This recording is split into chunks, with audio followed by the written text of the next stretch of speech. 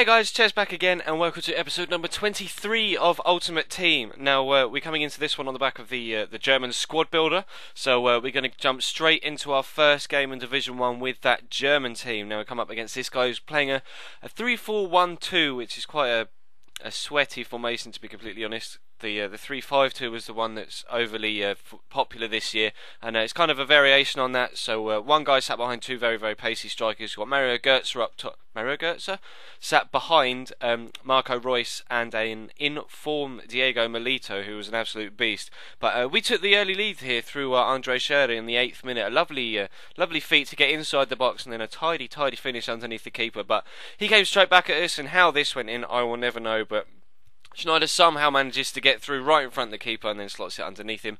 Literally two minutes after we'd gone 1 0 up. So that brought it back to 1 1. And uh, this, uh, I'm going to start this one off by saying Division 1 is hella sweaty. Absolutely horrifically sweaty. Like, obviously, throughout uh, the course of FIFA Ultimate Team so far this year, everyone who uh, you know uploads on a more regular basis, on a daily basis, and has got a lot further into a series by this point, and has spent a lot of time in Division One and Ultimate Team, has been uh, bitching about how sweaty it can get at the highest level, and obviously with the EA taking out the single match uh, feature, then uh, you know people are just it's absolutely I must win to stay up. I must win to stay up. I must win to stay up. I'm gonna I'm gonna buy everybody that has 90 plus pace, and I'm just gonna run around the outside of everyone, uh, and then I'm gonna square it, and then I'm gonna win, and everyone's just gonna have to accept it. And everybody plays like that in Division One, and it's so unbelievably frustrating because I've personally I've never played that way. I always prefer, much prefer, to have a footballing side with players that don't necessarily have you know, blistering pace, but are good on the ball and have a good pass and can, when required, put in a good finish. But uh, just oh, Division One so far has just been so unbelievably like butt clench frustrating. But I'm gonna try not to bitch about it too much because obviously I know you guys will have heard it from absolutely everyone else in the community already, and uh, you are probably full aware yourselves of uh, what the uh, what the top division is like. So uh, I'm not gonna dwell on it too much, but Schürrle there with another tidy finish, and that brought it back to 4 3. But we do get a defeat from our first game in Division 1 with that German side. But, you know, the, they played quite well as a competitive side, so I decided to go with it again. And again, a 3 4 1 2 formation with Aaron Lennon, Swansea Lamar, Danny Welbeck. Uh, Theo Walcott, Djibril Cisse, so pace absolutely everywhere. So it was definitely going to be another, you know, backs to the walls defensive job just to make sure that you fill all the gaps at the back to make sure that you know he doesn't get in behind, so that you can try and catch him on the counter attack if he pushes too far forward. And uh, it was it was a tough game actually. This guy was a lot better at the game uh, in a footballing sense. You know, he actually played football rather than uh, the previous guy who just kicked and ran.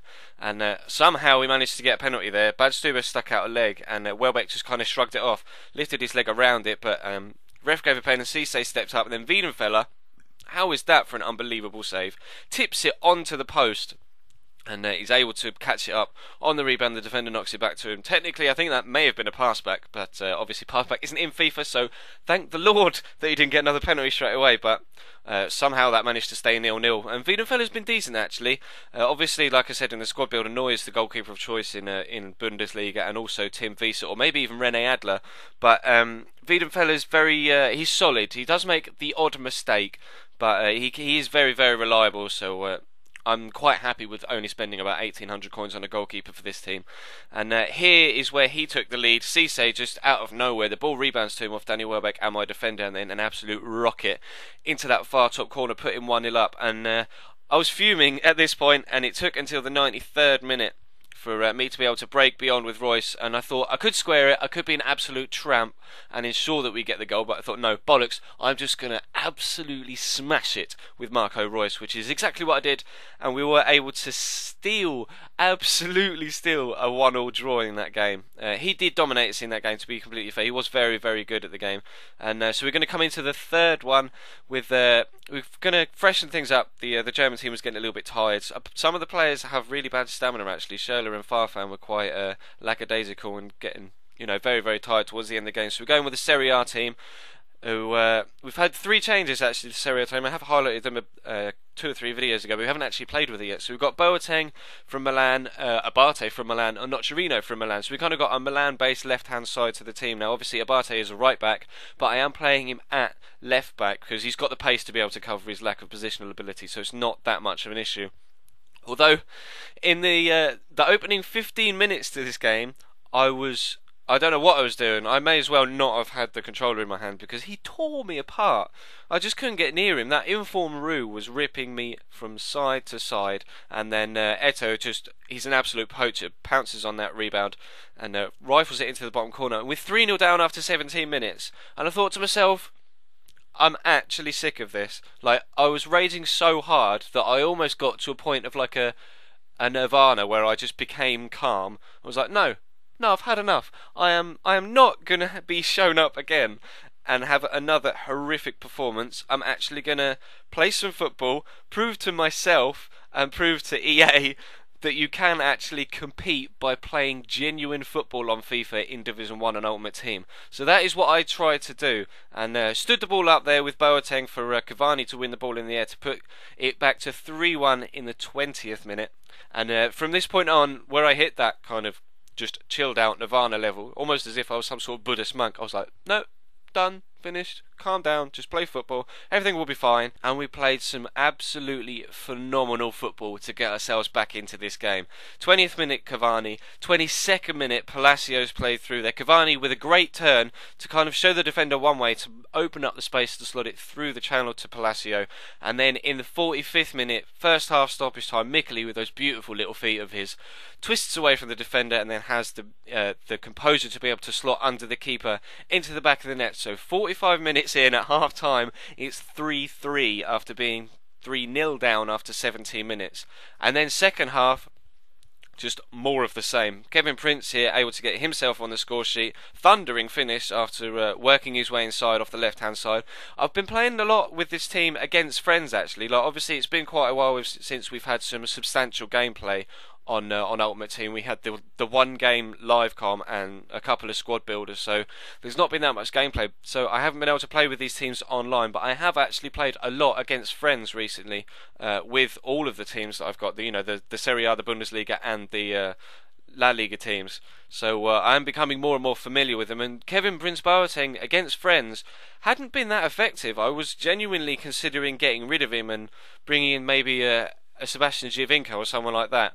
But in this game, just he was at the pinnacle of his ability. Absolutely worth the. Uh, I can't even remember how much I paid for him, but however much it was, it was definitely worth it because he was on fire in this game. And Miccoli here almost makes it seven-three in the 76th minute, hitting the post, and then uh, 88 minutes in, coming towards the end of the game. Now Vido was able to pick the ball up off the defender, and Palacio finesse shot round the finish, round the finish, a finesse shot round the defender to make the finish into the bottom corner. Absolutely textbook. Just bend it, whip it around the defender into that bottom corner. And after being 3 0 down after quarter of an hour, we won 7 3.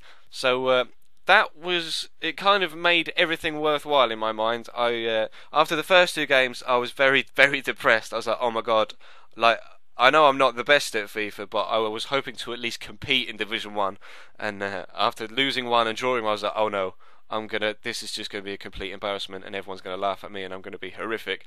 But that that seven three wins given me just that extra little bit of confidence that uh, I can actually compete in Division One, and we might. Well, hopefully we can stay up. Uh, whether we'll win a title this year I don't even know whether it's mathematically mathematically possible to win a title. Is it seven points? Yeah, seven games, twenty-one points. So uh, we will need to win six, 18. Yeah, maths, eighteen. If we win six of the remaining seven games, we will win the league and win the title. But I'm not entirely confident that's going to happen this time around. But I will continue with this kind of road to glory type series until we do win that Division One title, whether it be with any of the teams we've got now, or whether we sell everyone and build loads of different teams and end up having three or four different squad builders here or there and pack openings, etc. Then we'll have to wait and see. But um, hopefully, this series will continue to do well for uh, the foreseeable future. And uh, hopefully, you guys can. Uh, hopefully, you enjoyed this one. I know it's not been the best with the performances, but hopefully, the last game did make up for some of the uh, lackluster football earlier on in the episode. But thank you very much for watching, guys. Please do leave the video a like. We got a load of likes on the previous career mode episode, so that was absolutely fantastic. And uh, if we could do that again on this one, then I would be uh, forever indebted to your. Uh, I don't even know what I'm trying to do. I'm rambling so much that uh, I'm not even making grammatical sense. So, thank you very much for watching, guys. I will see you in a couple of days with another career mode video.